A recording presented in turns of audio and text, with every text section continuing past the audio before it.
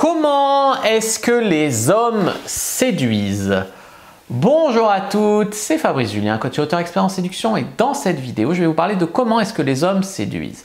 J'ai beaucoup parlé de comment séduire un homme, mais vous savez peut-être que j'ai toute une chaîne dédiée aux hommes pour leur apprendre à séduire les femmes. Donc je suis très bien placé pour vous expliquer comment les hommes séduisent. Alors, euh, tout d'abord, on va parler, il y a plusieurs écoles, j'en ai déjà parlé, tu as ceux qui séduisent à l'ancienne, qui ont qui regardent trop de films ou qui suivent les modèles un peu ringards ou qui croient, voilà, alors quand ils veulent vous séduire, c'est ah là là, t'es trop belle, je t'offre des fleurs, si tu veux, je te, je donnerai tout pour que tu acceptes une invitation au cinéma avec moi. Hein.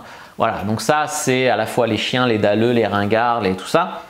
T'as ceux qui euh, ont quasiment presque renoncé à séduire et qui, du coup, pensent qu'il faut avoir de la valeur pour séduire. Donc, ils vont dire, moi, je m'intéresse pas aux femmes, je fais mon business, je deviens riche, machin, puis les femmes viendront après.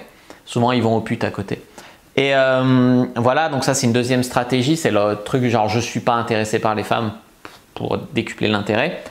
Et la troisième partie, c'est ceux qui s'intéressent activement à la séduction, mais à la vraie, pas aux idées reçues des magazines féminins, etc., qui s'intéressent à apprendre le game, donc la science de la séduction.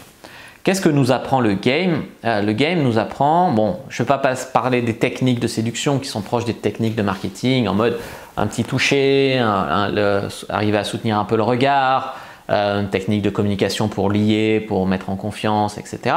Pour mettre en confiance, pour faire du bien, hein, pas pour manipuler. Euh, comment les hommes séduisent? Ils séduisent à 20% avec leur physique et à 80% par leur personnalité. Donc ça c'est important de le comprendre. Je l'ai découpé en plusieurs aspects, tu vois. Euh, au niveau des hameçons que les hommes peuvent utiliser, au niveau de l'attitude, la personnalité, voilà, et les hameçons que les hommes utilisent au niveau du physique, euh, du comment dire du voilà de la plastique quoi.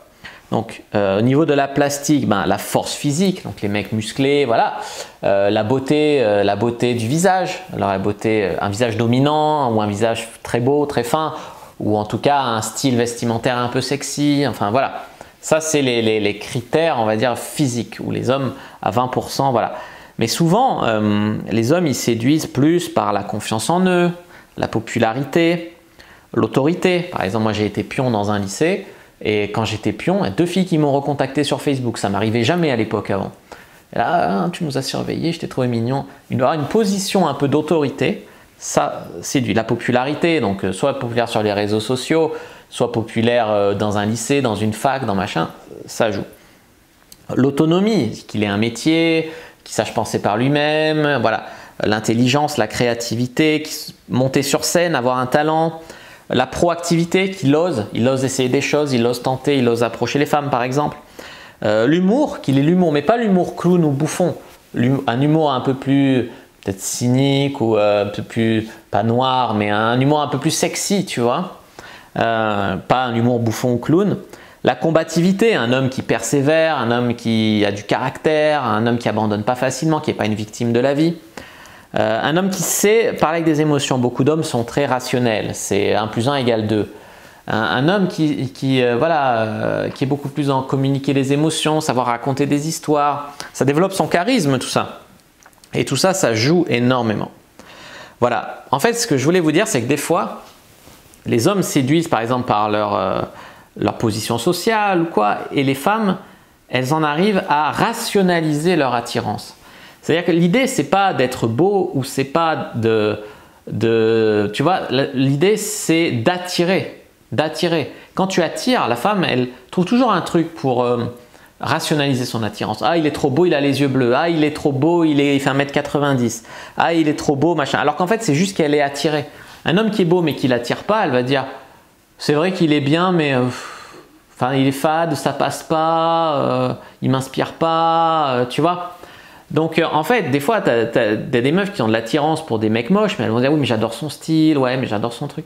Et, en fait, vous avez raison, dans le sens où c'est pas le fait qu'un mec fasse, qu'un mec fasse 1m90 ou qu'un mec ait les yeux bleus qui va faire qu'il va être un bon amant au lit ou qui va bien vous traiter avec respect, avec bienveillance, ou voilà. Tu vois, donc faut pas être trop superficiel, donc en ça, vous avez raison. Après, c'est pas non plus parce qu'un mec a un million sur son compte en banque qu'il va bien vous traiter ou que, tu vois, il va être un bon colis. Donc la vérité, encore une fois, elle est entre les deux. Mais j'espère que vous avez un peu mieux compris. Moi, je me rappelle, j'avais un pote, il était euh, serveur dans une boîte assez hype à Aix. Donc il avait notamment la popularité, euh, dans, la boîte, il connaissait les gens, il parlait à tout le monde, donc tu vois, ça, ça, a aidé. Il était assez grand, mais bon, il était en surpoids, en fort surpoids, euh, une barbe beaucoup trop longue, il était très sympa. Et, et, en fait, il était inexistant, on était ensemble à l'IUT, il était inexistant à l'IUT, les filles pensaient même qu'il était gay, et du fait où il a été, après il est rentré dans le BDE de l'IUT, puis après il s'est fait embaucher dans la boîte en question, quand il a commencé à être serveur dans cette boîte, à organiser des soirées, etc., il y avait des filles qui le suivaient euh, le soir quand il rentrait, qui lui disaient T'as une copine, mais c'est pas grave, euh, je vais rentrer avec toi, ou qu'il attendait en bas de la boîte, ou qu'il voulait baiser avec lui dans les toilettes de la boîte. Et sur euh, Facebook, il avait plein d'invitations en mode T'es trop beau, machin. Il est devenu beau du jour au lendemain quand il est devenu serveur dans une boîte hype, tu vois. Donc après, c'est pour ça que je dis rationalise ce qu'est la beauté ou l'attirance ou le machin, alors qu'il n'était pas plus beau après qu'avant, tu vois. Voilà.